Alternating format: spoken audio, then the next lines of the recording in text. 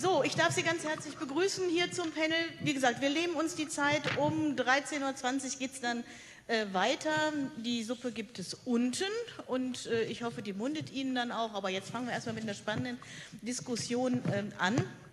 Ich darf Ihnen kurz vorstellen, wer heute hier mit uns mitdiskutiert. Mein Kollege Arif Ünal. Wir beide werden uns die Moderation hier ein bisschen äh, teilen und aufteilen. Und ähm, ich darf jetzt die Dame zunächst begrüßen äh, hier in unserem Panel. Das ist Lamia Kador. Sie ist auch medial präsent, wird angefragt und das hat äh, einen guten Grund, denn sie ist in vielerlei Hinsicht Expertin. Sie ist auch Tochter syrischer Einwanderer, auch ein Kind äh, aus Nordrhein-Westfalen in Aalen geboren, hat Arabistik, Islamwissenschaft studiert, allgemeine Erziehungswissenschaft und Komparatistik. Sie hat mitgewirkt an der Ausbildung islamischer Religionslehrer und Lehrerinnen. Sie hat aktuelle Lehraufträge unter anderem unter dem Titel Muslime in Deutschland an der FH Münster, an der Uni Duisburg und auch im Fachbereich dort der evangelischen Theologie. Da geht es um das Thema Bibel und Koran. Sie ist außerdem Lehrerin in Dienstlaken da kommt einem sofort der Begriff Lohberger Brigade äh, in den Sinn. Ähm, sie äh, unterrichtet dort islamische Religion als ordentliches Unterrichtsfach an einer Sekundarschule. Und sie sagt, durch meine Arbeit an der Schule ist es mir ein persönliches Anliegen, junge Menschen vor dem Abgleiten in den Islamismus durch unterschiedliche Zugänge abzuhalten. Sie ist eine der äh, muslimischen Sprecherinnen für das deutschlandweit erste muslimische Wort im öffentlich-rechtlichen Fernsehen, dem sogenannten Forum am Freitag des ZDF. Ich weiß nicht, wer von Ihnen das überhaupt schon mal wahrgenommen hat. Seit 2013 ist sie wieder Vorsitzende des Liberal-Islamischen Bundes, den sie auch mitgegründet hat. 2010. Sie ist Mitautorin des ersten deutschsprachigen Schulbuchs für einen islamischen Religionsunterricht unter dem Titel Saphir Sie ist Mitglied in vielen Fachbeiräten, unter anderem der Zukunftsakademie NRW. Sie ist Mitglied in der Mitgliederversammlung der Heinrich-Böll-Stiftung seit dem November 2015 und sie hat sich sehr verdient gemacht um den jüdisch-islamischen Dialog wie auch um den islamisch-christlichen Dialog. Sie ist ausgezeichnet und im Februar 2016 hat sie jetzt gerade den Integrationspreis der Stiftung Apfelbaum erhalten für die nachhaltige und erfolgreiche Integrationsleistung und für eine dogmafreie zeitgemäße Auslegung religiöser Schriften wie des Korans sowie für eine umfassende Geschlechtergerechtigkeit.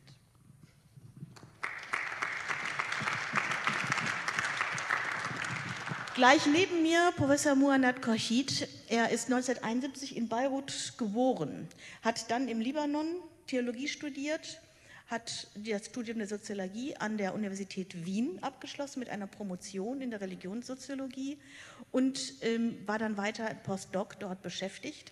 Er ist Professor für islamische Religionspädagogik am Zentrum für islamische Theologie der Westfälischen Wilhelms-Universität in Münster. Seit 2011 ist er Koordinator des Graduiertenkollegs Islamische Theologie der Stiftung Mercator und auch Leiter des Zentrums für Islamische Theologie an der Universität. Er ist Principal Investigator des Exzellenzclusters Religion und Politik in den Kulturen der Vormoderne und Moderne.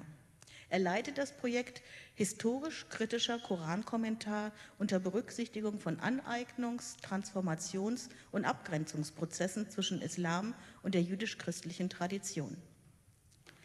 Er hat 2012 das Buch geschrieben, Islam ist Barmherzigkeit und seine Vision von einem modernen, aufgeklärten Islam vorgestellt. Eine humanistische Religion, die vor allem von Gottes Barmherzigkeit, Gottes Liebe und Freiheit geprägt sei.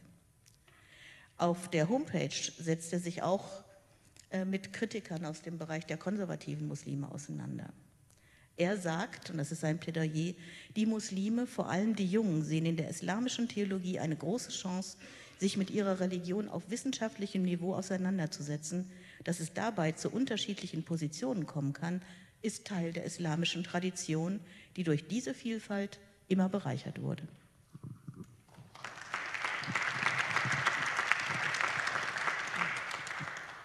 Professor Hans-Martin Lübking kommt eigentlich gebürtig aus dem Kreis Minden und hat dann nach mehreren Stationen, äh, den schulischen Stationen, auch in Minden hat er Abitur gemacht, ist dann äh, in die Fakultät Evangelische Theologie nach Münster und Göttingen gewechselt, hat dort studiert. Er war fünf Jahre lang wissenschaftlicher Assistent im Fach Neues Testament an der Universität Münster, hat zu Paulus und Israel im Römerbrief äh, promoviert. Er hat ein Vikariat in Münster absolviert und war auch neun Jahre Gemeindepfarrer in der Kirchengemeinde Gütersloh. Ab 1988 war er Dozent am Pädagogischen Institut der Evangelischen Kirche von Westfalen in Villigst in der Nähe von Schwerte. Er hat einen Lehrauftrag an der Universität Münster. Er war bis 2013 dann Direktor des Pädagogischen Instituts des, ähm, der Evangelischen Kirche von Westfalen von 1996 an und seit 2001 Honorarprofessor der Universität Münster. Er war Sprecher der Pädagogischen Institute der Evangelischen Kirche Deutschlands und der Ämter und Werke in der Evangelischen Kirche von Westfalen. Er hat viele Initiativen zur Kirchenreform, zur religiösen Sozialisation und zur Bildungspolitik begleitet. Aktuell ist er Vorsitzender des Bündnis Länger gemeinsam lernen in Nordrhein-Westfalen. Da geht es um eine pädagogisch kreative Schule, um eine bildungsgerechte und eine anspruchsvolle Schule, unter anderem länger gemeinsam lernen, bekenntnisorientierter Religionsunterricht. Wir werden gleich von ihm hören, ob das zusammenpasst.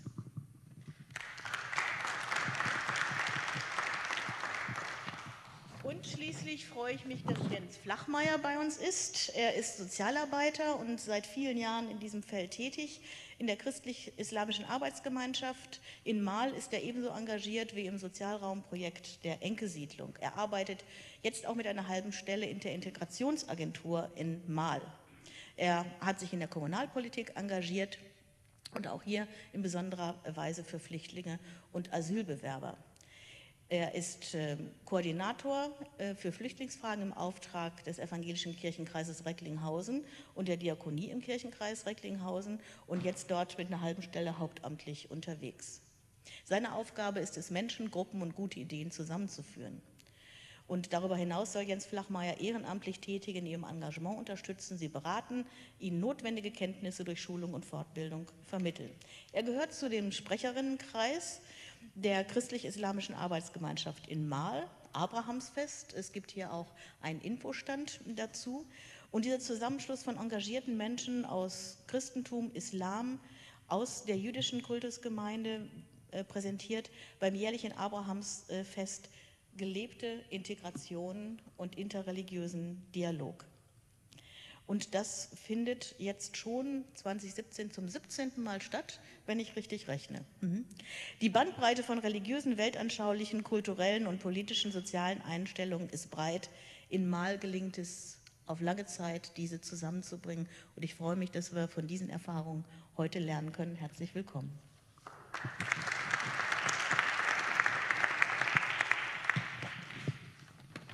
Und jetzt wollen wir beginnen mit dem kleinen Input, den wir verabredet haben.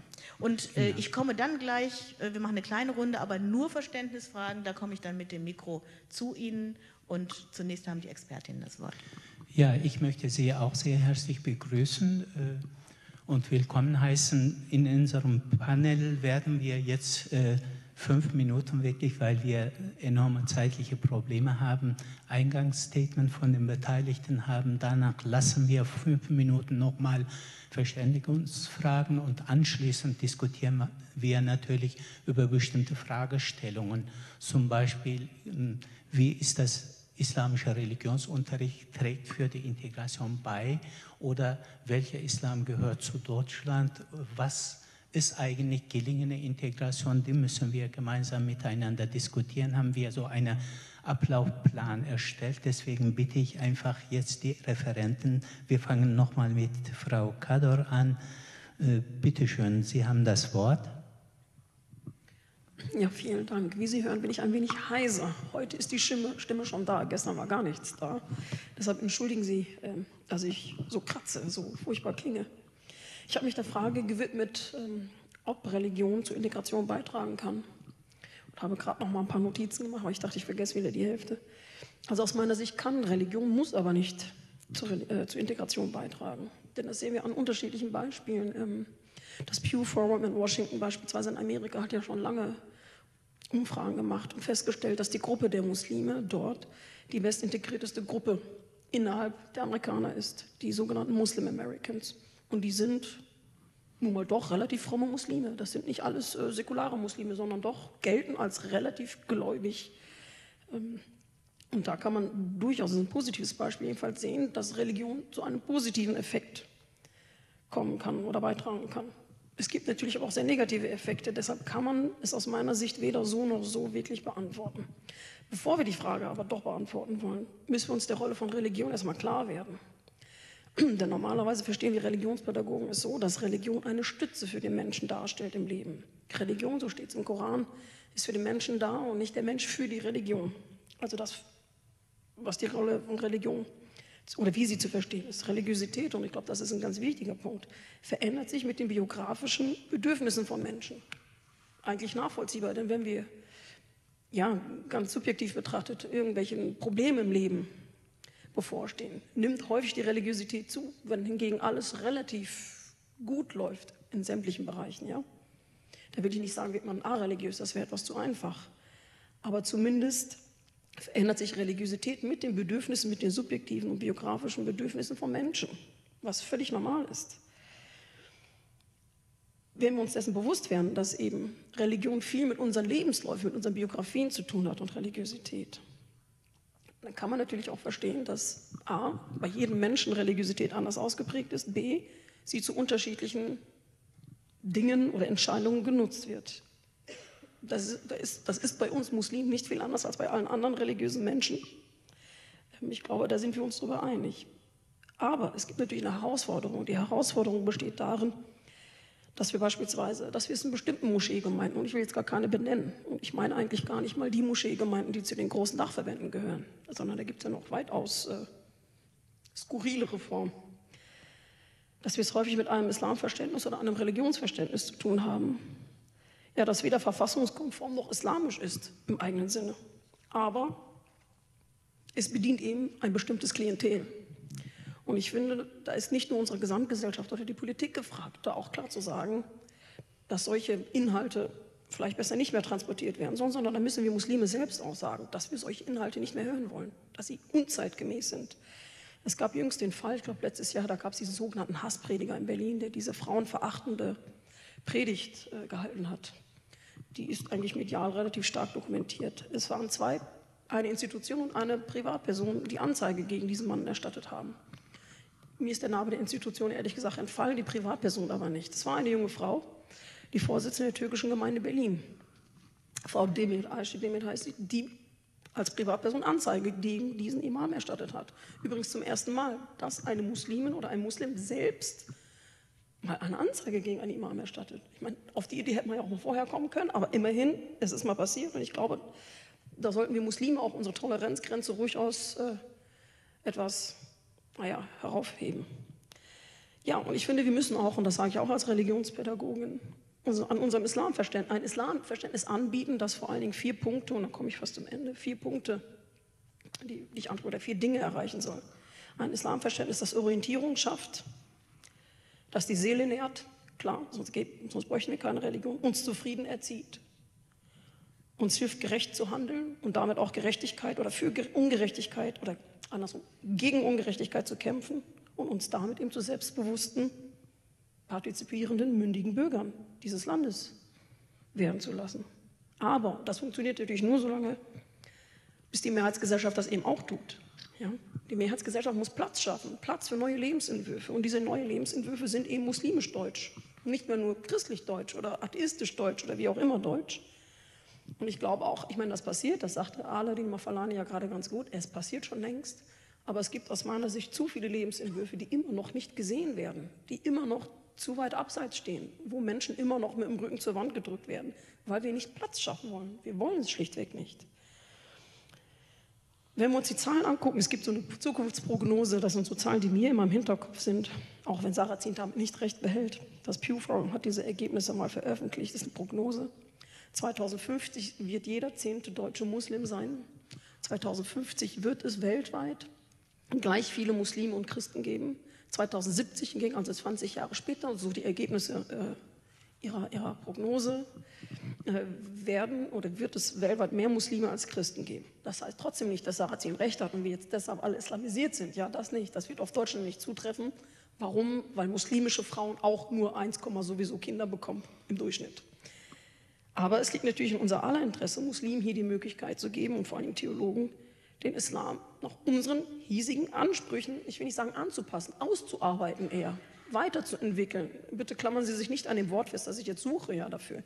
Aber ich hoffe, Sie, Sie können mir folgen. Ja? Ich glaube, wir haben hier eben die Chance, das machen zu können als Theologen, als Religionspädagogen. Die Chance hätten wir in Saudi-Arabien sicher nicht. Das weiß Mohammed genauso gut. Wir machen ja nichts anderes den ganzen Tag. Und uns ist durchaus bewusst, dass wir hier Dinge machen können, die wir woanders so nicht tun können. Und ich glaube, das muss man eben unterstützen, unabhängig, und das sage ich als Vorsitzender des Liberal-Islamischen Bundes, unabhängig davon, ob das jetzt eine liberale Strömung ist, ob es eine konservative Strömung ist, äh, jedenfalls eine Strömung, die mit unserem Rechtsstaat kompatibel ist. Das muss hier gefördert werden.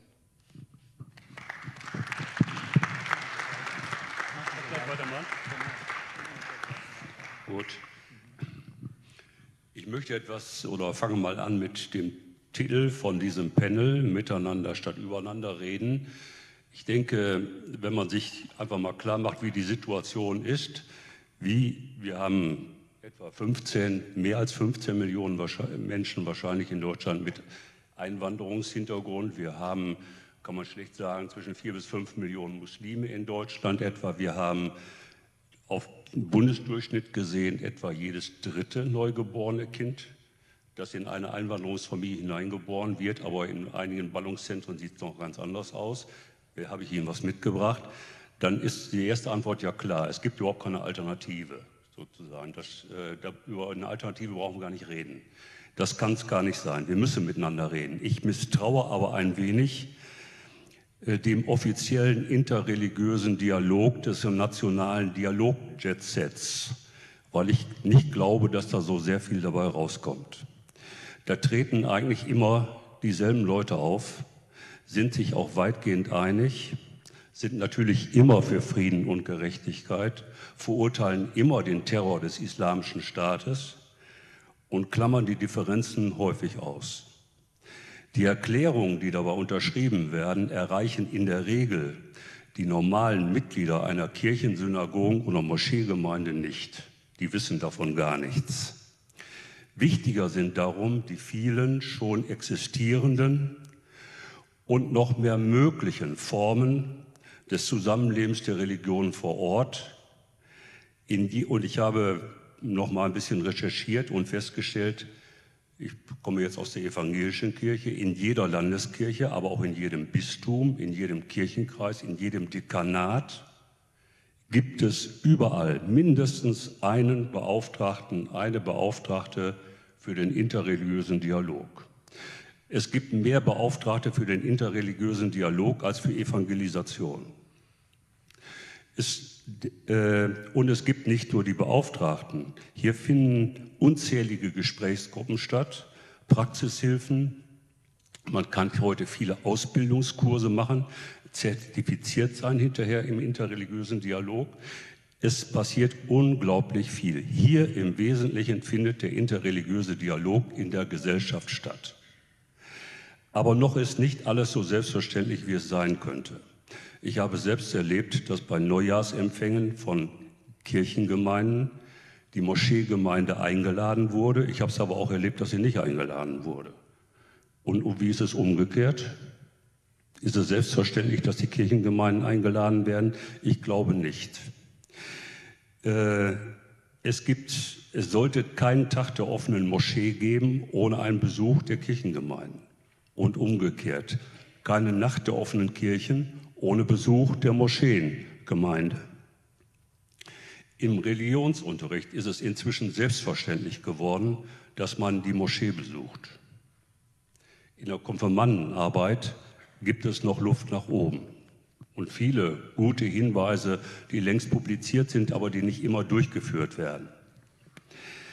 Ähm, das sind ja nur wenige Hinweise. Ich will damit aber sagen, der Dialog, der entsteht nicht von selbst, sondern man muss Gelegenheiten schaffen und Orte bereitstellen. Und diese Gelegenheiten unten vor Ort, und wir werden ja gleich was über das Abrahamsfest hören, sind meines Erachtens effektiver als die großen Erklärungen untereinander. Der wichtigste Ort für das interreligiöse Lernen in der Gesellschaft ist die Schule. Und da habe ich Ihnen mal was mitgebracht das wohl mal einmal wünschen verteilen, wenn es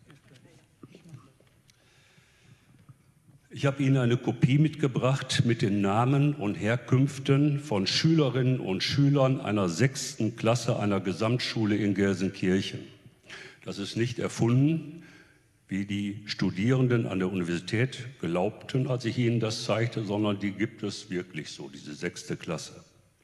Es sind 30 Kinder oder Jugendliche mit neun verschiedenen Religionen oder Konfessionen aus zehn verschiedenen Herkunftsländern. Das ist heute die Realität. Die Studierenden fühlten sich etwas überfordert und sagten, wie sollen wir damit umgehen? Das können wir gar nicht. Aber das ist die, die Realität und die Herausforderung. Wenn das heute unsere Schülerinnen und Schüler sind, dann brauchen alle Lehrerinnen und Lehrer und nicht nur die Religionslehrer, sondern alle Lehrerinnen und Lehrer verbindliche interreligiöse Kompetenzen. Das muss in der Ausbildung verbindlich sein, und zwar gleich im Grund- und Hauptstudium.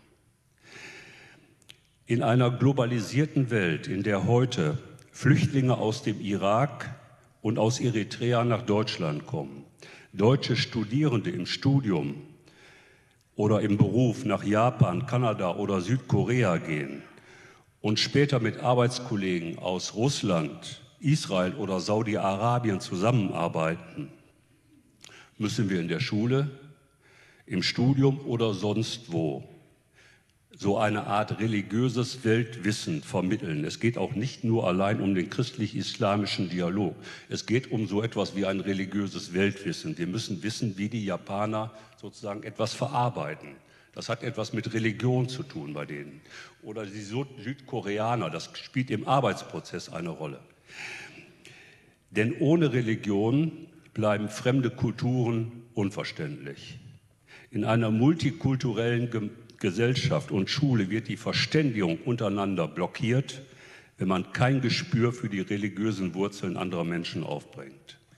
Ich möchte zum Schluss noch drei kurze Herausforderungen benennen, die sich für mich wirklich immer mehr gestellt haben. Einmal, statt die Harmonie zum Programm zu erklären, sollten im interreligiösen Dialog die Differenzen nicht ausgeklammert werden. Die Wahrheitsfrage darf nicht suspendiert werden, auch wenn niemand hier unter uns im Besitz der Wahrheit ist. Aber wir dürfen sie nicht ausklammern. Es muss ehrlich zugehen, sonst ist der Dialog überflüssig. Ich muss auch über das reden können, was mich in der anderen Religion stört. Mich stört ja beim Christentum, dem ich selber angehörige, auch einiges. Und das kann ich ja auch sagen. Ich muss nicht alles lieben. Zweitens, der interreligiöse Dialog setzt die Kenntnis der eigenen Religion voraus. Aber damit ist es in weiten Teilen der christlichen, der sogenannten christlichen Bevölkerung und gerade auch bei vielen Jugendlichen nicht besonders gut bestellt. Das Wissen um den eigenen Glauben ist teilweise sehr dünn geworden. Wer nichts weiß, glaubt am Ende alles oder flüchtet sich in beliebige Geschmacksurteile. Wenn ich über den eigenen Glauben nicht begründet und mit einem Mindestmaß an Differenzierung Auskunft geben kann, ist der Dialog gescheitert, bevor er begonnen hat. Und drittens, mir ist aufgefallen, dass die Fremdenfeindlichkeit in Deutschland dort am größten ist, wo es, wo es ganz wenig Muslime gibt und ganz wenig Christen. Es stellt sich die Frage, die Konfessionslosigkeit nimmt unter uns zu. Welchen Dialog führen denn die Konfessionslosen mit Muslimen, Christen und mit äh, Juden? Äh, es reicht nicht zu sagen, damit haben wir nichts zu tun. Das Zusammenleben von Menschen verschiedener Religionen und Weltanschauungen ist eine große gesellschaftliche Aufgabe.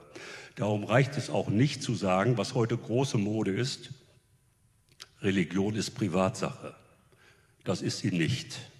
Menschen unterschiedlicher Kulturen und Religionen können nur dann friedlich überhaupt zusammenleben, wenn ihre religiösen Überzeugungen offen und öffentlich vertreten werden können und nicht in Hinterhöfe oder geschlossene Räume abgedrängt werden.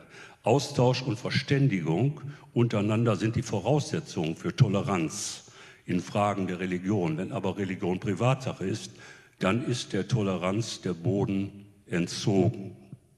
Soweit.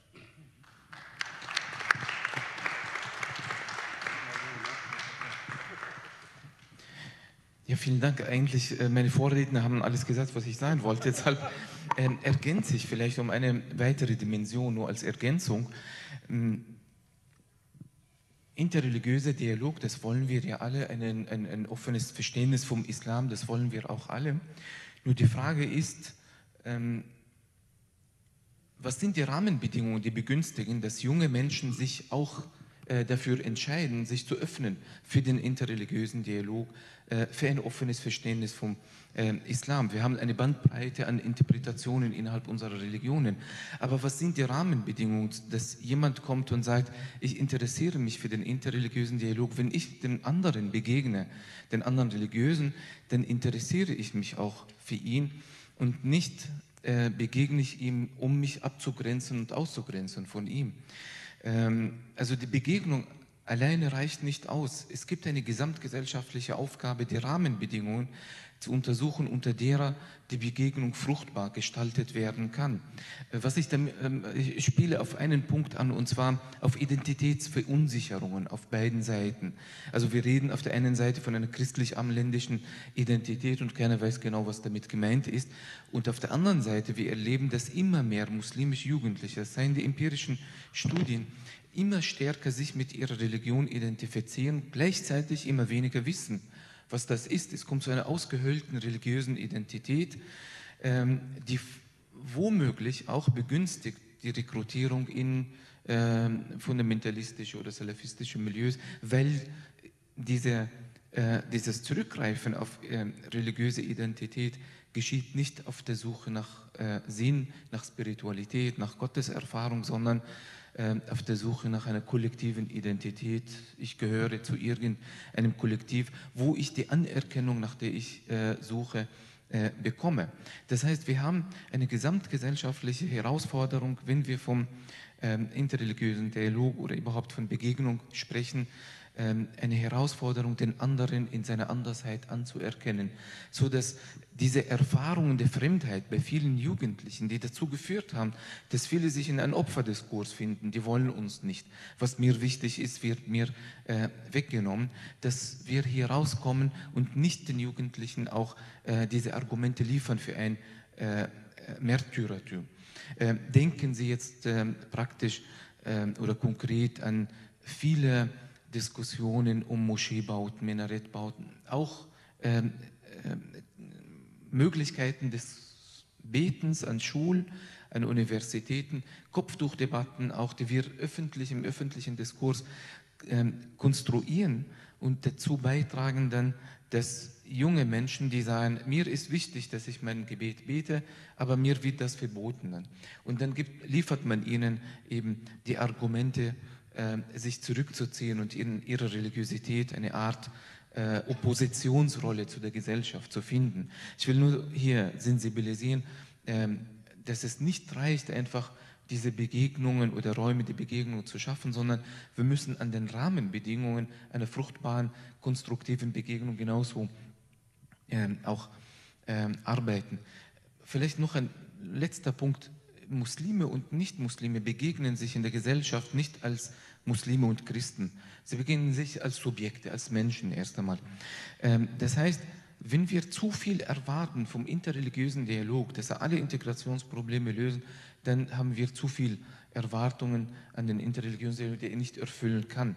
Ähm, die Frage ist, wie können sich Menschen gegenseitig begegnen, unabhängig auch von ihrer Religionszugehörigkeit und dennoch ähm, das Gefühl haben, ich werde anerkannt in meiner Andersheit. Ich begegne den anderen, ähm, aber ich werde auch anerkannt als Subjekt an erster Stelle, so dass wir nicht zu stark manchmal soziale Herausforderungen religionisieren und Religion dafür äh, zuständig machen. Ich möchte nur zuletzt das nochmal unterstreichen, was Sie gesagt haben mit dem Religionsunterricht. Wenn ich nicht weiß, wer ich wirklich bin, wenn ich nicht die Vergewisserung über meine eigene Identität habe, werde ich dem anderen immer begegnen mit Angst, ich verliere das ganz Dünne, was ich habe, über das ich zu wenig weiß. Und deshalb, äh, was ich vorhin gemeint habe, wir brauchen Selbstvergewisserung von der eigenen Identität, damit ich, wenn ich als Muslim den Christen oder den anderen begegne, äh, nicht aus Angst begegne, ich könnte durch die Begegnung meins verlieren, sondern ich begegne dem anderen mit, offenen, mit Offenheit, mit einer Offenheit, so dass ich bereit bin, mir auch womöglich Elemente anzueignen vom anderen. Ähm, nur kleine, äh, etwas äh, kleines konkretes äh, Beispiel. Die Frage des, äh, nicht des Wahrheitsanspruchs, sondern die Frage des Exklusivismus, die eigentlich problematischer ist als Wahrheitsanspruch. Wenn ich jetzt innerislamisch, um ein konkretes Beispiel nur äh, darzulegen, äh, in meiner Theologie zeige und auch koranisch begründe, dass äh, Gott nicht exklusiv nur den Muslimen gehört, sondern ist gnädig zugewandt auch anderen Menschen. Die Frage ist, das ist jetzt ein theologisches Angebot. Ich kann die Menschen nicht zwingen, das anzunehmen. Nur die Frage ist, warum soll sich ein junger Mensch äh, sich zu Hause fühlen mit dieser Auslegung des Islams, dass Gott nicht exklusivistisch nur für Muslime da ist? Wenn der in seiner religiösen Identität eine Oppositionsrolle äh, findet oder seine religiöse Identität eine Ab- und Ausgrenzung zur Gesellschaft, dann will er unbedingt Gott auch auf seiner Seite haben gegen die Gesellschaft.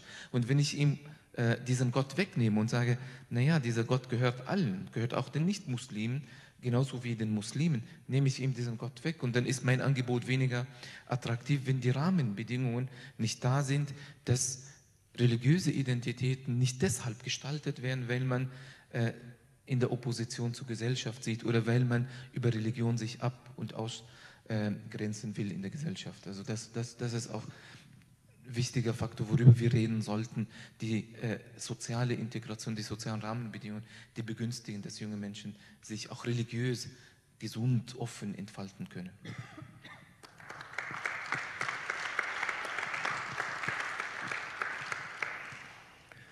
Ja, es fällt nicht schwer, das letzte Wort zu haben in dieser Runde, aber ich glaube, mit dem äh, Abschluss sozusagen der, des Praxisbezuges äh, schafft es eine gute Brücke zu all dem, was kommt. Begegnung bedeutet Treue zur eigenen Identität, aber zugleich Bereitschaft, sich zu bemühen, den jeweils anderen in seiner Religion, Kultur und Mentalität besser zu verstehen und aufzunehmen. Das ist, äh, ist sozusagen, sind Teile aus der Satzung der christlich-islamischen Gesellschaft, äh, die sich für die, christlich, die Arbeit der christlich-islamischen Arbeitsgemeinschaft im Mal äh, ja, sozusagen wunderbar übertragen lassen. Und wenn ich äh, an Herrn Koschida anschließen darf, dann, dann ist genau das, was in Mal passiert, identitätsstiftend. Denn es geht überhaupt nicht darum, in irgendeiner Weise ähm, bei dieser Arbeit zu priorisieren, sondern im Grunde äh, voneinander zu informieren, miteinander in Kontakt zu kommen, äh, interessiert, Interesse an dem anderen zu wecken und dafür Gelegenheiten zu schaffen. Die ähm, christlich-islamische Arbeitsgemeinschaft in Mal gibt es schon seit 1984, ist in Kleinpflänzchen dort entstanden, äh, arbeitet also schon sehr lange und seit 2001 gibt es das Abrahamsfest. Wenn Sie sozusagen Interesse haben, noch mal näher darüber äh, nachzulesen, können Sie das gerne auch im Internet tun. Es gibt eine eigene Homepage zum Abrahamsfest und auch zu der äh, Arbeit der christlich-islamischen Arbeitsgemeinschaft. Ja, und ich will mit der Jahreszahl 1984 einfach auch sagen, wie lange dieser Prozess in Mal nun schon läuft und dass interreligiöse und interkulturelle Arbeit äh, keine Dinge sind, die man äh, heute tun kann und morgen lassen kann, sondern dass es eigentlich eine, ich sage jetzt mal aus meiner Perspektive, eine lebenslange Aufgabe ist, genau wie Integration auch, da am Ball zu bleiben. Und dafür braucht es ja, eine Menge Menschen, die diese Arbeit tun, die diese Arbeit jetzt schon seit vielen Jahren tun und mit großem Engagement und ich sage auch immer noch mit Herzblut. Ähm, wir treffen uns mit dem Sprecherkreis und Kooperationspartnern einmal im Monat und ähm, es ist schon eine ganze Menge, was dort zu besprechen ist. Ja, und etwas konkreter wer, äh, werden möchte ich jetzt am Beispiel des Abrahamsfestes, der Veranstaltungsreihe in Mal. Ähm, es ist also so, dass wir im Grunde trägerübergreifend mit Vertretern, das sind, ich habe gerade mal einmal gezählt, äh, über 30 Sprecherinnen und Sprecher von evangelischer, katholischer Kirche, von allen muslimischen Gemeinden, von der ähm, im Kreis Recklinghausen ja kreisweit organisierten ähm, jüdischen Gemeinde, die sich äh, jedes Jahr zu bestimmten Themen treffen und dann diese Veranstaltungsreihe auf den äh, ja, auf die sozusagen auf den Weg bringen und ganz praktisch besetzen. Was mir wie allen anderen, die dort aktiv sind, äh, gut gefällt, ist eben, dass es schlichtweg in allem, was wir tun, um um eine ressourcenorientierte Sichtweise im Umgang mit dem Thema geht. Wenn man in diesen Tagen die Zeitungen aufschlägt, in, im, im, Fernsehen schaut, dann ist alles ganz viel mit defizitären Blicken äh, verwandt und so arbeiten wir nicht. Wir, wir gehen einfach dran und wissen, dass wir mit dem, was die Menschen mitbringen, eine Menge erreichen und bewegen können und so tun wir das auch. Ich beschreibe mal, ich lese einfach nur mal ein paar Dinge vor. Wir haben also im, äh, nee, also in diesem Jahr in 2016 das 16. Abrahamsfest in Mal. Ähm, Schirmherr wird Rolf Abrahamsohn sein, einer der letzten Überlebenden im Holocaust, der im, äh, auch Ehrenbürger des Kreises Recklinghausen ist, inzwischen über 90. Und ähm, ja, und dann wird es, es gibt eine Grundstruktur im Abrahamsfest, die sich fast jährlich wiederholt, aber inhaltlich halt äh, verändert. Es gibt den Auftakt in der Synagoge, es gibt einen Familiennachmittag in der Fatih-Moschee, es gibt, was äh, Herr Lübking gerade angesprochen hat, ähm, Kinder aus Kirchen und Moscheen besuchen sich gegenseitig. Es gibt äh, Aktionen für Jugendliche, Jugendzentren. Ganz stark eingebunden sind fast alle Schulen in Mal, die Workshops also ähm, an ihren Schulen äh, kreieren und am Ende dann im Theater Mal in eine wunderbare Revue münden lassen, die gerade für das letzte Jahr wieder stattgefunden hat. Ähm, es gibt interkulturelle Trainings, es gibt ein internationales Workcamp. Jetzt blätter ich mal um. Dann gibt es äh, Gespräche mit Beteiligung von Erwachsenen und älteren Jugendlichen.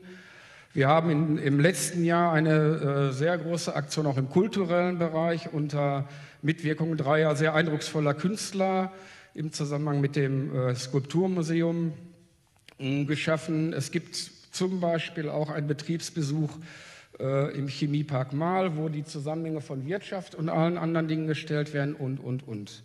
Ein sehr schöner Punkt, wie ich immer finde, ist auch um, ja, ich sage jetzt mal zur Geschichtssicherung, äh, das, was hier jetzt zu, zum Schluss auf dem Programm äh, steht, unter dem Motto Ältere erzählen, Jüngere fragen, nämlich die Menschen, die hier schon lange leben, die eben auch noch eine ganze Menge aus der Zeit äh, erzählen können, äh, als sie hier nach Deutschland kamen.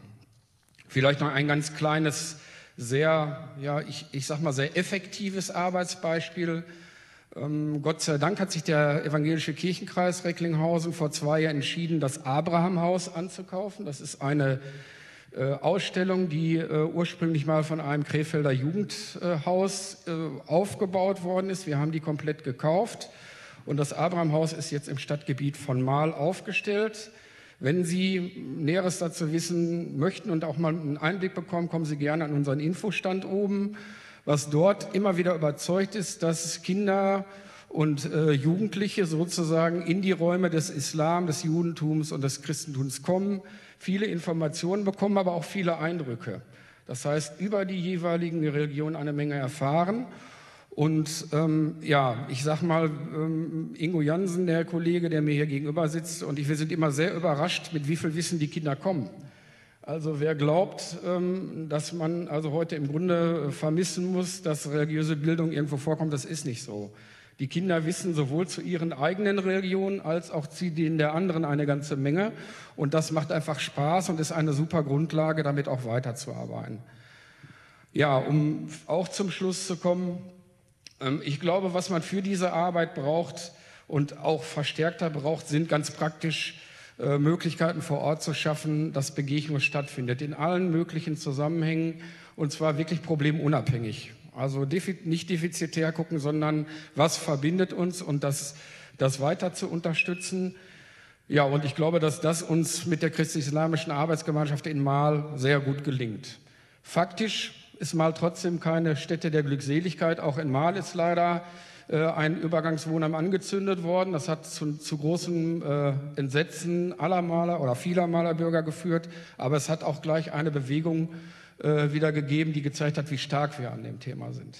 Ich wünsche mir für uns alle, dass wir von der Toleranz zur Akzeptanz kommen, weil ich denke, Toleranz ist ein vorübergehender Zeitpunkt, äh, ein, ein vorübergehender Prozess, den man eine gewisse Zeit sage ich mal, akzeptieren kann, aber es ist kein Dauerzustand.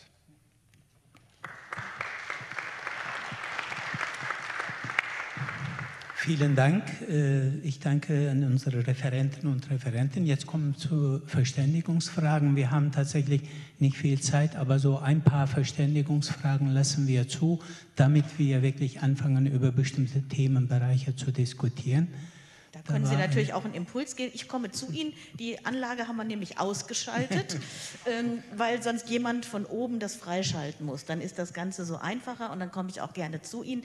Ich will nur einen Impuls aufnehmen. Das fand ich gerade sehr interessant, was Herr Flachmeier gesagt hat, weil das wird ja eine der zentralen Aufgaben auch sein. Also eine einer der letzten Holocaust-Überlebenden als Zeitzeuge.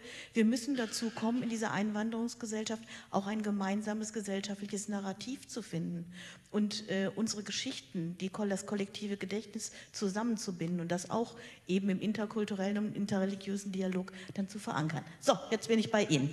Und jetzt habe ich es mit Herrn Drücker zu tun und ich gebe Ihnen das nicht aus der Hand. Wer das Mikro hat, hat die Macht. Kann ich verstehen.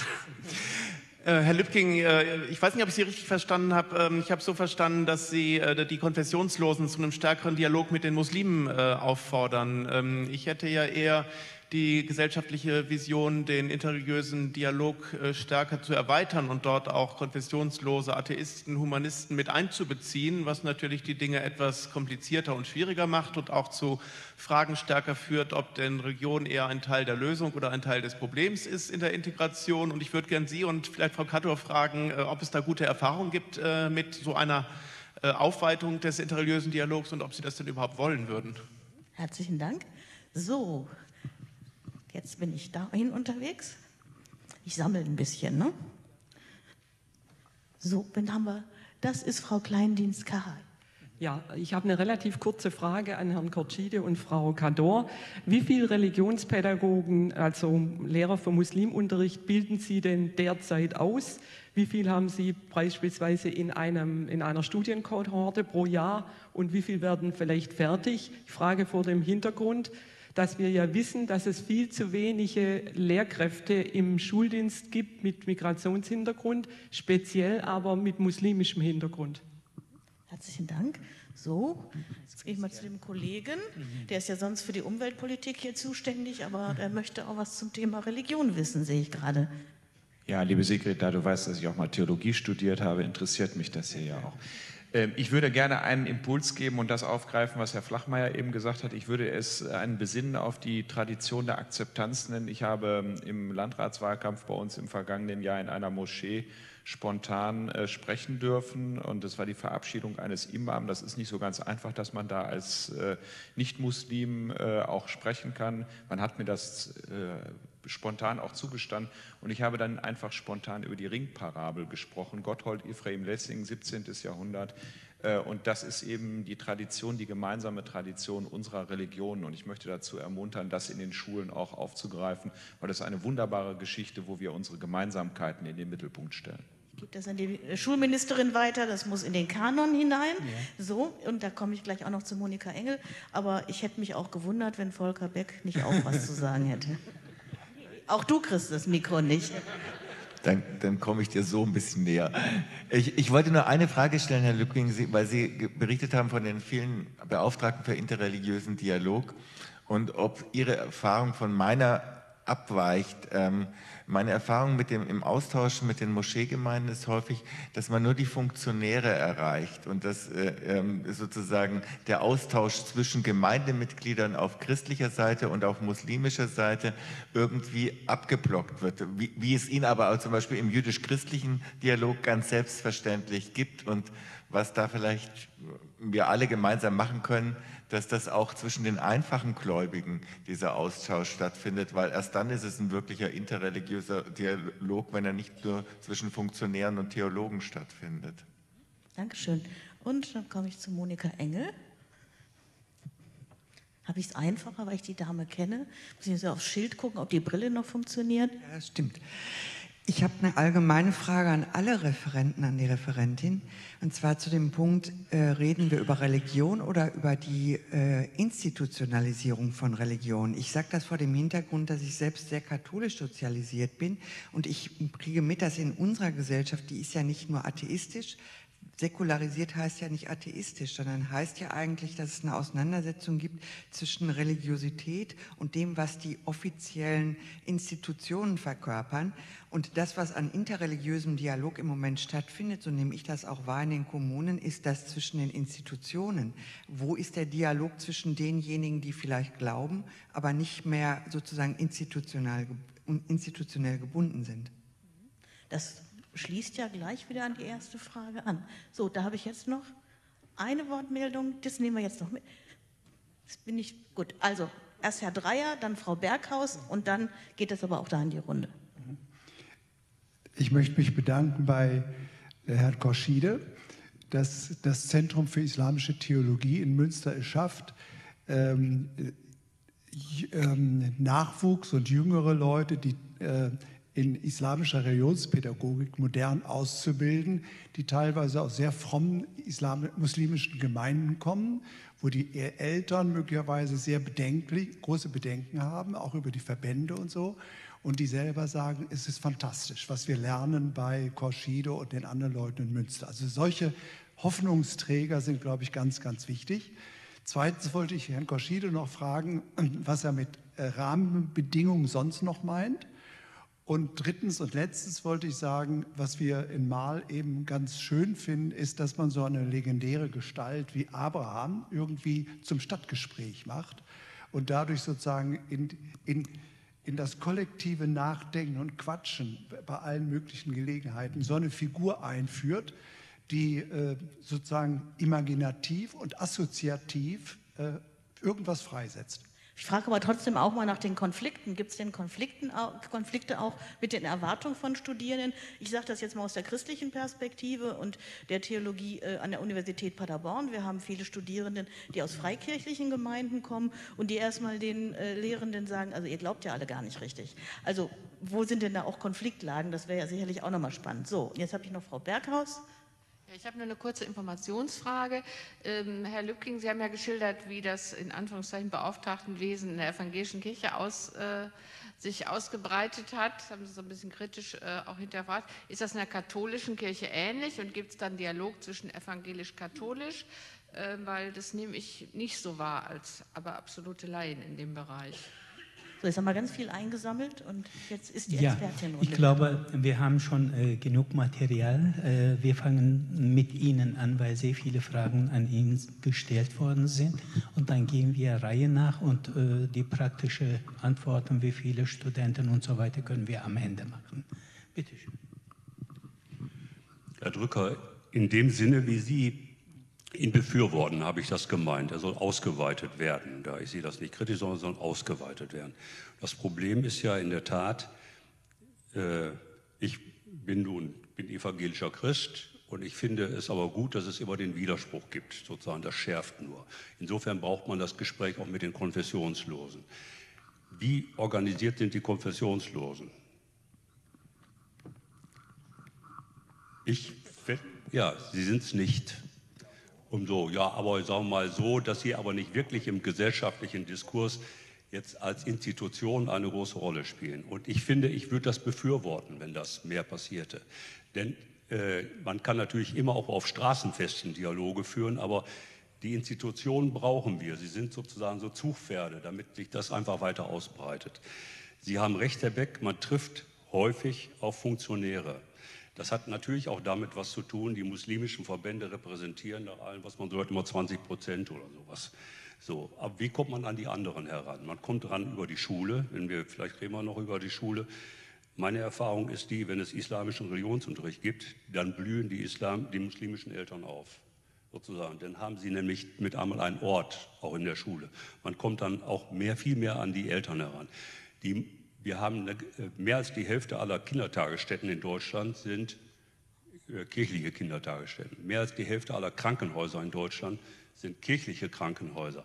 Bei den Kindertagesstätten passiert einiges, aber da könnte ich mir auch noch mehr vorstellen. Bei den Krankenhäusern passiert gar nichts, soweit ich das weiß. Da sind Menschen, sozusagen. Da müssen auch Gespräche geführt werden, äh, denn die halten sich da auf, die Menschen. So, man muss die Orte finden, an denen so etwas stattfindet, bevor man sich irgendwie Wolkenkuckucksheimer ausdenkt. Ähm, die, Äh, Dialog nur zwischen den Institutionen, habe ich schon was gesagt. Also es ist gut, wenn es den natürlich darüber hinaus gibt, und zwar hoffentlich, aber die Institutionen brauchen wir.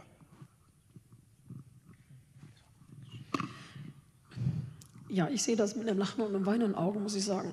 Natürlich brauchen wir eine Institution, weil wir gar nicht drum herum kommen, irgendein Organ zu finden. Aber ich persönlich, wenn ich das so sagen darf, habe eher positive Erfahrungen mit dem direkten Miteinander gefunden. Und da ist es mir völlig egal, ob ich mit einem Konfessionslosen spreche oder einem überzeugten Juden oder was weiß ich was. Ich glaube aber, dass es für das Subjekt, also für das Individuum sehr viel gewinnbringender ist, als sich in einen interreligiösen Dialog zu setzen. Tut mir leid, dass ich das so sage, aber ich saß oft in diesen Kreisen es sind tatsächlich immer die gleichen Leute, wen wundert's. Ähm, und ich habe häufig die Erfahrung gemacht, dass Dialog einfach nur des Dialogs wegen geführt wird. Und das ist mir persönlich inzwischen zu wenig. Das mag man vielleicht mit der Generation meiner Eltern als sinnvoll erachtet haben, sich auszutauschen. Aber in Zeiten, in denen Menschen wie ich oder auch meine Schüler Deutsche sind, ein völlig normaler Teil dieser Gesellschaft, reicht es nicht mehr, um zu sagen, wir sprechen miteinander, um uns kennenzulernen. Da gibt es gar nicht so viele Differenzen, um uns kennenzulernen. Und ich glaube, das ist das Positive, wie ich finde, an diesem Abrams-Projekt, aber auch an anderen äh, ähnlichen Projekten. Man muss Dialog führen mit einem bestimmten Ziel. Und das Ziel muss ein Beitrag zur Zivilgesellschaft sein. Der muss nicht immer religiös sein. Es muss nicht Abraham als Stadtgespräch stattfinden. Wir können uns auch alle gemeinsam für Flüchtlinge einsetzen. Wir können uns auch alle gemeinsam für eine bessere Umweltpolitik oder was auch immer einsetzen. Das ist mir ehrlich gesagt gerade egal. Mir reicht es nur nicht mehr, ständig diesen interreligiösen Dialog zu führen, weil wir jetzt mal miteinander reden müssen. Das, das tun wir schon lange genug, finde ich. Da, da, da muss eine nächste Stufe äh, kommen ähm, rück, jetzt gucke ich gerade, welche Lehrer, wie viele Lehrer gibt es mit Migrationshintergrund? Ich glaube, Herr Roshi kann Ihnen das besser beantworten, aber vielleicht nochmal aus meinem Lehrerkollegium. Ich unterrichte an einer Sekundarschule in Dienstlaken, inzwischen mit sehr viel weniger Stundenanzahl, als ich es vorher gemacht habe. Aber in unserem Kollegium gibt es bestimmt 80 Prozent der Kollegen, die einen sogenannten Migrationshintergrund haben.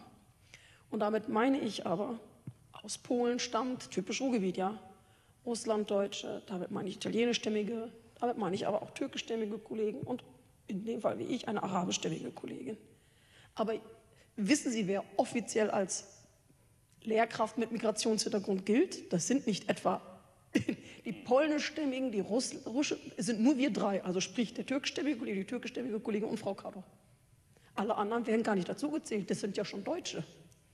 Und das frustriert mich auch ein wenig. Bis heute ist es weder Schulen noch auch unserer Öffentlichkeit gelungen, und das mal zum gemeinsamen Narrativ, äh, die Migrationsgeschichte, also ich meine, wir haben ja ganze Einwanderungswellen gehabt. Denken Sie an die Vertriebenen, die Gastarbeiter und die jetzigen Flüchtlinge. Aus meiner Sicht, so würde ich es konstruieren, haben wir unterschiedliche Einwanderungswellen oder Bewegungen und das gehört auch zu unserem Narrativ. Das muss zu unserem deutschen Narrativ und zu unserem kollektiven, zu, unser, zu unserer Identität gehören. Und das wird aber nicht so verkauft, weder in den Institutionen noch in der Öffentlichkeit.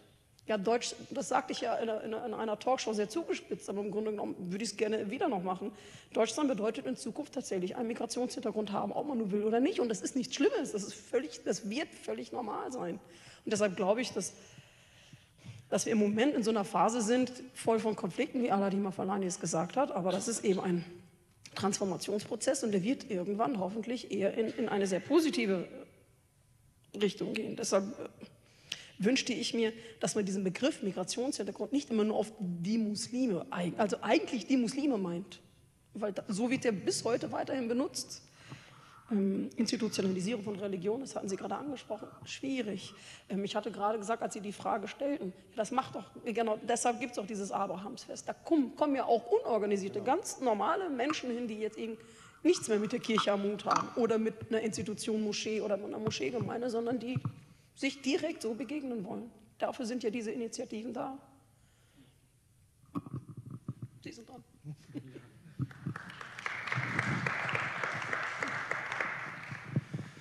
Ja, also wenn ich, da kann ich auch gleich direkt äh, anschließen. Ähm, wir haben natürlich den Vorteil, im Grunde immer mit dem Abrahamsfest in erster Linie Impulsgeber zu sein. Also wir sind nicht diejenigen, die in irgendeiner Weise eine sozusagen einen Missionierungsauftrag auch im Sinne der, der integrativen Arbeit haben, sondern wir, wir können einfach mit, dem, mit den Menschen, die da sind und die sich zum, für das Thema interessieren und die wirklich viel Energie einbringen, äh, diese Veranstaltungsreihe seit Jahren auf die Beine stellen.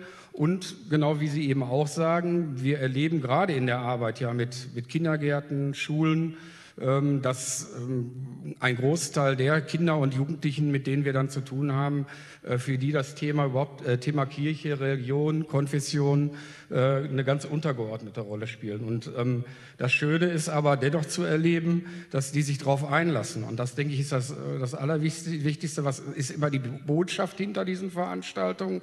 Und ähm, da spielt es für den großen Teil der ähm, Nutzer überhaupt gar keine Rolle, sozusagen, was ähm, ja, sozusagen, ob es jetzt katholisch, evangelisch, jüdisch oder muslimisches Angebot damit verknüpft wird, sondern einfach, dass es das gibt.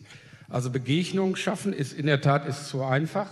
Und natürlich gibt es im Rahmen des Abrahamsfestes auch wirklich ähm, Auseinandersetzungen zum Thema Religion. Also es ist nicht alles easy, es gibt Diskussionen, es gibt auch im Rahmen unserer monatlichen Sitzungen immer äh, im ersten Teil die Möglichkeit, sich aneinander zu reiben. Gesamtgesellschaftlich ist so viel los, dass wir nicht da sitzen und an diesen Themen vorbeigehen können, sondern die Konstellation, und das war ja vorhin die Frage, man erreicht, wir erreichen nicht nur die Funktionäre.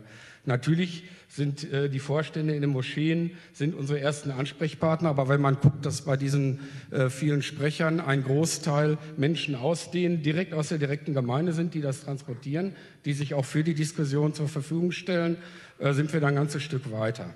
Aber ich habe auch gesagt, das ist nie zu Ende. Der Moscheevorstand wechselt. Damit ist wieder sozusagen eine große Veränderung für jede Moscheegemeinde da. Und dann fangen wir auch wieder von vorne an mit bestimmten Themen. Auch das ist richtig.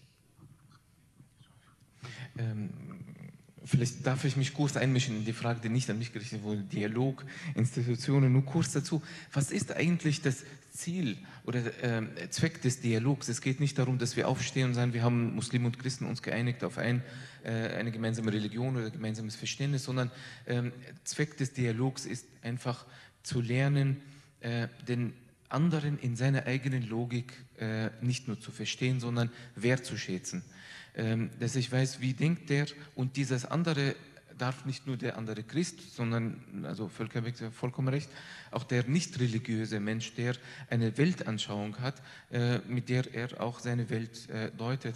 Da brauchen wir genauso diese Begegnung, um den anderen in seiner ähm, Andersheit und in seiner eigenen Logik äh, zu verstehen und ähm, entsprechend auch wertzuschätzen. Die Erfahrung, die ich sehr oft mache, grenzt, also schließt an dem an, dass sich Menschen immer treffen, die sich entweder sowieso verstehen oder äh, ist es ein, ein, ein, Polit, äh, ein, Politikum. Also man trifft sich, um zu sagen, wir haben uns getroffen und wir haben uns verstanden. Ähm, interreligiöse Dialog ist nur dann fruchtbar, auch auf institutioneller Ebene, wenn die Institutionen das selbst, also selbst weitertragen in die eigenen äh, eigene Communities. Also wenn die ähm, Moscheeverbände oder mit denen man zusammensetzt, das äh, daraus ein Programm entwickeln für die Imame, die das in der Moscheegemeinde weitergeben. Was bringt das, dass wenn wir im interreligiösen Dialog, das erlebe ich sehr oft, dass auch die Konservativsten dann sagen, ja, ja, natürlich, wir verstehen uns und alles äh, gut. Ähm, und, und, und, und wir lesen auch äh, die Bibel und wir lesen den Koran gemeinsam, aber im Volksglauben ganz was anderes verbreitet ist und man kommt überhaupt nicht an die große Masse. Und die Frage auch, die zu Ihnen kommen auch, ob das nicht die sowieso schon bereit sind. Also meine Frage ist immer, wie erreicht man die man erreichen müsste eigentlich?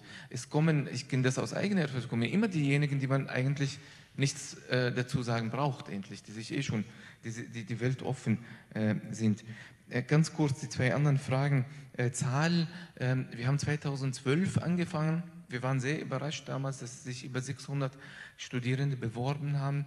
Äh, wir haben ca. 100 aufgenommen. Es scheitert sehr viel an Numerus Clausus, weil auf Lehramt muss man ein Zweit- oder sogar Drittfach, also drei, äh, zwei bis drei andere Fächer auch nehmen, eins bis zwei Fächer nehmen. Ähm, die erste Kohorte, die ist jetzt voriges Jahr fertig geworden, sind ca. 40, die ihre Bachelorarbeiten geschrieben haben. Also wir rechnen jetzt nächstes Jahr mit ähm, am Ende des Masterstudiengangs, dass 40 fertig sind. Ähm, danach 2013 haben sich 1200 beworben, 1400 und voriges Jahr 1600, also Tendenz steigernd. Wir haben 226 aufgenommen dieses Jahr alleine. Wir haben insgesamt über 700 Studierende mittlerweile. Wir rechnen damit, dass wir circa 100 Absolventen, weil also ich meine, wir nehmen über 200 jährlich, es hören einige auf, einige verzögern das Studium, wechseln. Das ist typisch für jedes Studium. Aber mit 100 Personen pro Jahr rechnen wir schon mit 100 Absolventen. Also wenn NRW, es heißt, man braucht circa 900 Lehrer in NRW, also in zehn Jahren.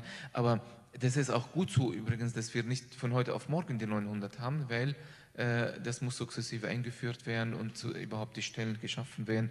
Das ist ein Prozess, der noch 10, 15 Jahre dauern wird, bis man flächendeckend ähm, äh, an den Schulen äh, überall Religionslehre für islamischen Religionsunterricht haben.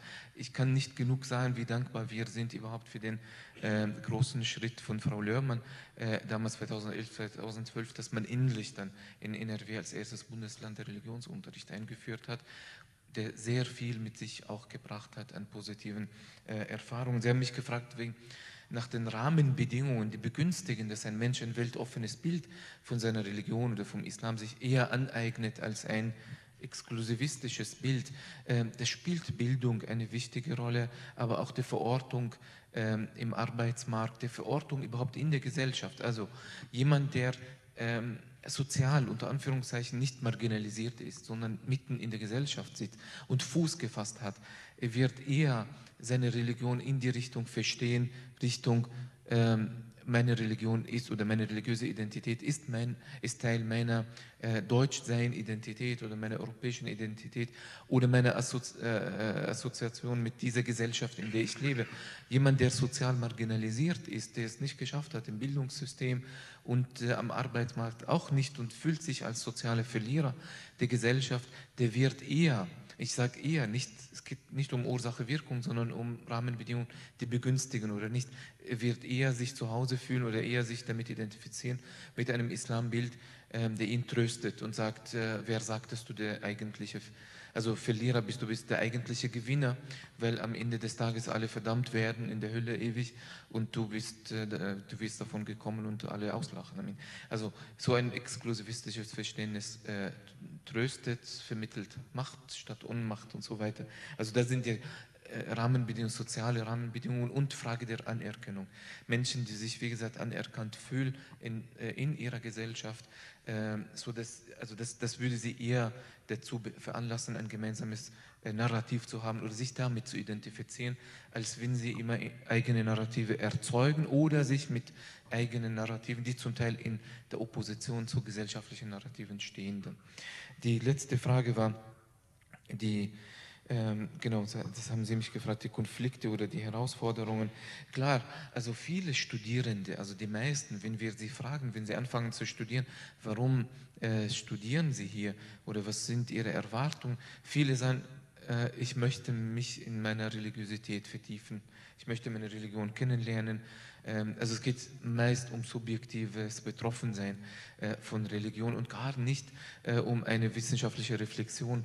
Ähm, anfangs sind manche, äh, unter Anführungszeichen, schockiert, überrumpelt mit manchen, weil sie feststellen, äh, meine Religion ist nicht so, wie ich gedacht habe, schwarz-weiß und so simpel, sondern es gibt eine Bandbreite an Positionen, Schulen äh, und Argumenten, Gegenargumenten, gegen Gegenargumenten und so weiter, die alle ihre Anerkennung haben in der islamischen Tradition. Allein die Konfrontation junger Menschen mit dieser innerislamischen Vielfalt führt zu einer Horizonterweiterung bei den meisten. Es gibt welche Studierende, die kommen und die wissen schon alles und in der Tat, die kommen nur entweder sind zum Glück wenige, aber zu missionieren oder um uns zu zu erzählen, äh, wie ungläubig wir sind. Das gibt es auch. Aber wir haben die Erfahrung gemacht, dass einige, also ich hatte also ganz klar einen äh, vor drei Jahren einen, einen Salafiten, der immer wieder zu mir gekommen mit Fragen von Pierre Vogel, ähm, ja, frag den das und jenes und wir haben, ich bin wohlwollend auf ihn zugegangen wir haben sehr viele Stunden auch verbracht, alles Mögliche zu beantworten, durchzugehen. Äh, mittlerweile hat er seinen Bart rasiert, er ist ein ganz normaler, also identifiziert sich überhaupt nicht mehr mit dem Salafismus. Also, also es, es lohnt sich, dass Sie diesen Prozess durchmachen. Äh, man darf keine momentane Aufnahme machen, sein, oh, die, die sind so jetzt im ersten oder im zweiten Semester und die sind enttäuscht vom Studium, weil sie erwartet haben, dass sie das, was sie wissen, einfach nur bestätigt hören, sondern es geht um einen Prozess. Es gibt natürlich ähm, manche, ohne Namen zu nennen jetzt, aber die von bestimmten ähm, Ideologien jetzt in bestimmten, also schon ausgebildet sind in ihren äh, Gemeinden, die, die, die, die kommen und es ist ganz klar, sie wissen schon alles, also in ihrer Wahrnehmung. Die kommen nicht, um zu studieren, sondern wie gesagt, nur die Scheine holen und dann ähm, später arbeiten. Äh, da ist sehr schwierig, an die heranzukommen, weil die von Anfang an mit der Einstellung kommen, ich weiß schon, wie es richtig ist und ich weiß, dass das alles hier heretisch ist. Äh, und äh, ich bleibe nur pragmatisch, erzähle ich pragmatisch, was die hören wollen von mir, damit ich meine Scheine bekomme. Die gibt es auch leider, diese Gruppen. Okay, vielen Dank. Ich glaube, da kann man jetzt zwei Sachen einfach zusammenfassen. Erstens, die Menschen haben natürlich sehr viele Teilidentitäten. Religiös ist eine Teilidentität. Ein Mensch ist nicht nur religiös. So gesehen ist der interreligiöse Dialog natürlich, wie Sie sagen, zwischen den Menschen stattfindet und als Subjekt stattfindet. Das muss man, ich glaube, immer wieder im Blick halten. Der andere, ich glaube, dieser interreligiöse Dialog tatsächlich im Moment läuft, ist notwendig, diese institutionalisierte, aber das reicht nicht aus weil sehr viele interreligiöse Dialogbeauftragten, egal ob sie in der Moscheeverein oder in der kirchlichen Institution, dass diese Kenntnisse nicht mal am Vorstand weitergeben, geschweige den Gemeindemitgliedern. So gesehen muss man, ich glaube, auf der Basis Gemeindemitgliedern diese Dialoge ermöglichen. Deswegen brauchen wir unterschiedliche Konzepte wie man das erreichen kann. Das aber garantiert auch nicht, dass man alle Menschen erreichen kann, sowohl in der Kirche als auch in den, in den Moscheevereinen natürlich nicht alle Menschen organisiert sind. So gesehen bleibt natürlich ein Teil immer außen, aber wenn wir auf der Basis diese interreligiöse Dialog einfach vorantreiben, werden wir viel erreichen nur ein Punkt. Ich glaube, wir können auch 40-jährige Defizite der Integration nicht über interreligiöse Dialog lösen. Da, diese Erwartung muss man auch nicht haben. Deswegen muss man ein bisschen gelassener mit diesem interreligiösen Dialog umgehen. Ja, und auch die sozialen Fragen hm. sind nicht über den interreligiösen Dialog zu lösen. Das haben wir ja auch gehört. Und da liegt ein Haupt, äh, eine Hauptursache auch für viel sich ausgrenzen oder sich ausgegrenzt fühlen und äh, die Dinge dann zusammenzusehen. So, wir wollen Sie jetzt gleich zur Suppe lassen, aber unsere Expertinnen sollen das letzte Wort haben. Und ich würde mir von Ihnen jetzt äh, wünschen, sehr kurz und knackig, was Sie uns als Politik mit auf den Weg geben. Was sollen wir, was ist die vordringlichste Sache, die wir anfassen sollen? Worauf äh, muss man besonders achten? Denn das, wir wollen das, was wir hier miteinander besprochen haben, einspeisen, natürlich in die parlamentarischen Prozesse. Die Frage äh, Religionsunterricht in der Schule ja oder nein haben wir für die Landesregierung entschieden. Wir haben den islamischen Religionsunterricht eingeführt und wir arbeiten auch daran, dass äh, Ethik als Unterricht auch als Angebot für die Konfessionslosen von der Grundschule an auch dazu angeboten wird, um dann über die Dinge gemeinsam zu reden. So, aber was sollen wir jetzt als erstes anfassen? Was sind Ihre Ratschläge für uns? Das geben Sie uns heute mit auf den Weg. Also vielleicht zwei Punkte spontan. Ähm, ich finde es schade, dass man äh, Religionsunterricht und Ethikunterricht gegeneinander ausspielt und sagt entweder oder. Wäre schön, wenn wir es schaffen, äh, parallel zu konfessionellem Religionsunterricht auch einen Ethikunterricht, wo wiederum die Konfessionsgehöre auch da, da, sitzen und sich austauschen, damit im Sinne auch von Völkerbeck ähm, ein, ein, ein, ein, Austausch zwischen religiösen und nicht religiösen stattfindet. Das, das wäre. Erhoffen wir uns genau dadurch, dass wir es gemeinsam und ergänzen. Genau. Und der zweite Punkt vielleicht zur Politik äh, ähm, auf dem Weg auch mitnehmen. Äh, wir machen, also der Religionsunterricht ist auf jeden Fall eine große Chance, gerade den islamischen, um ebenso, wie Frau Kadur gesagt hat, nicht den saudischen Islam hier zu haben, sondern einen von Deutschland für die, äh, für, für die Muslime in Deutschland konzipierten Religionsunterricht. Ähm, ich würde noch mal zu bedenken geben, ähm, wer die Partner sind, mit denen man diesen Religionsunterricht gestaltet, damit wir diese Chance nutzen, für die die Menschen in der islamischen Welt uns beneiden sogar.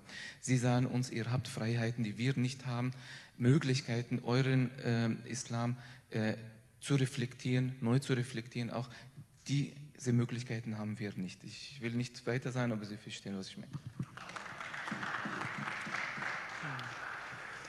Ja, ich komme ich komm jetzt vielleicht so ganz kurz auf meine Arbeit als Integrationsagentur mal zu sprechen. Ähm, das Land hat ja vor einiger Zeit beschlossen, kommunale Integrationszentren einzurichten.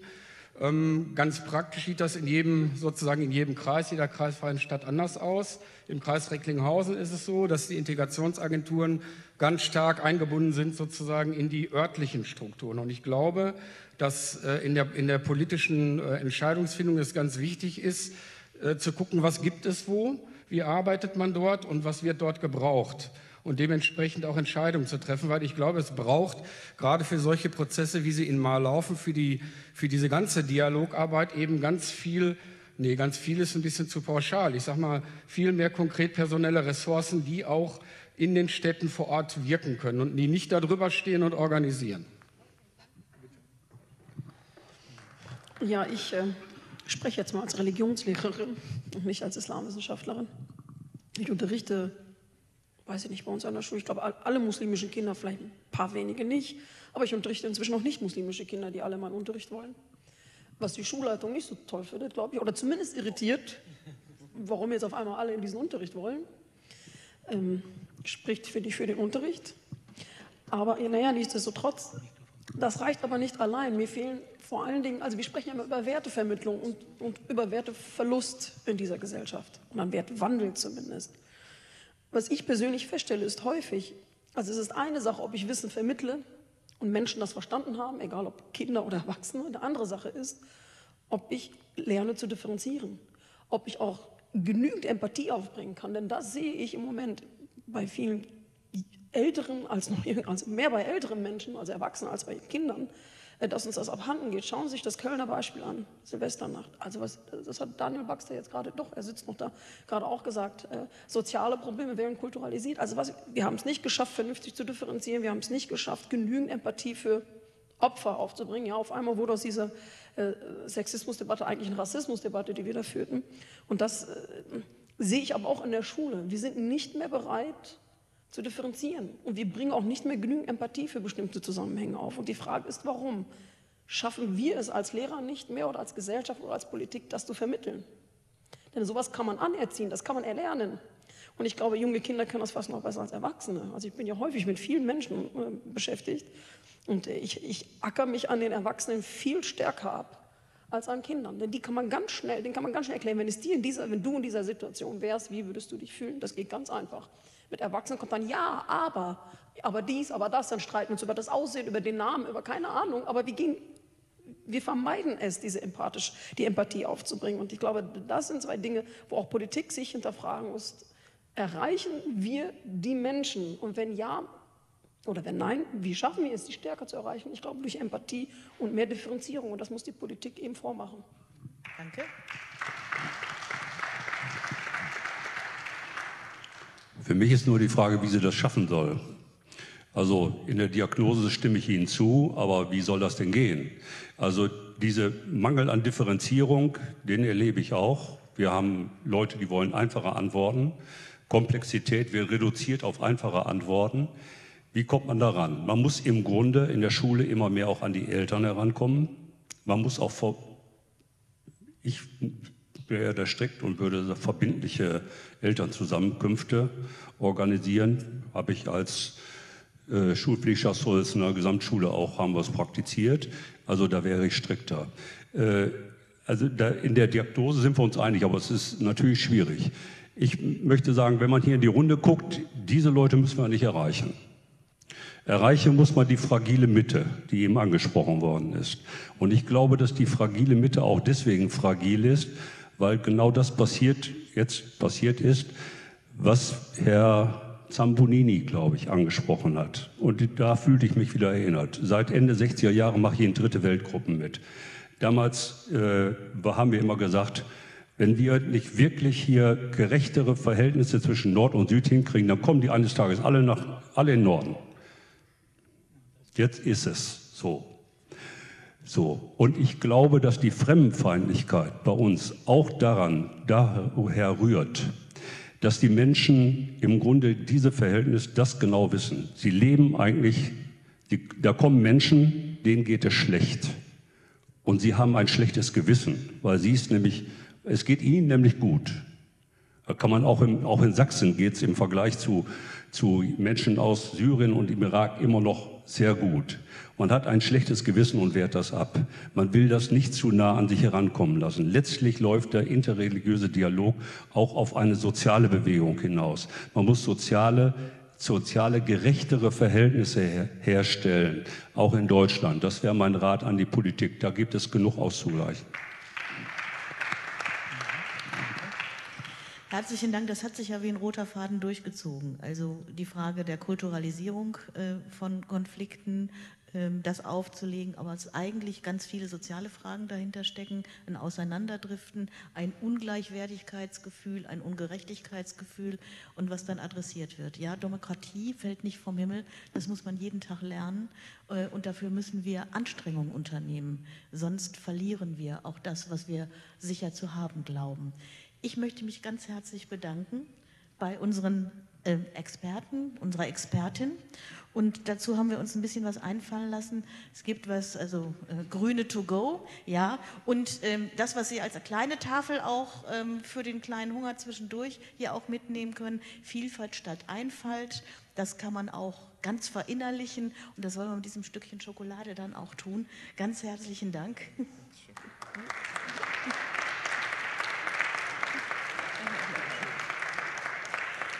So, und jetzt wünsche ich Ihnen guten Appetit. Es ist noch Suppe da und zwar auf der unteren Ebene, Getränke und wir sehen uns dann um 20 nach hier wieder. Dankeschön.